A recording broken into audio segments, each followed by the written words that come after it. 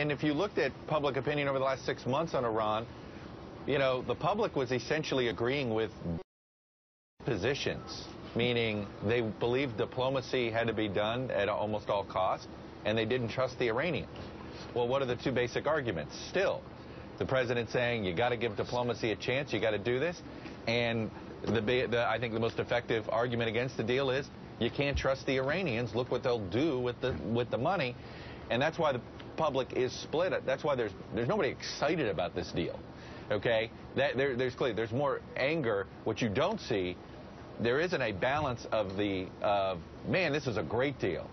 You haven't heard anybody say this is a great deal. You saying this is a workable deal is about the best argument you hear for it.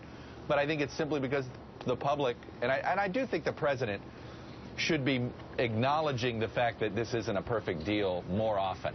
I feel like they oversell the deal sometimes, and that can make it harder to convince Steve Israel to come on board.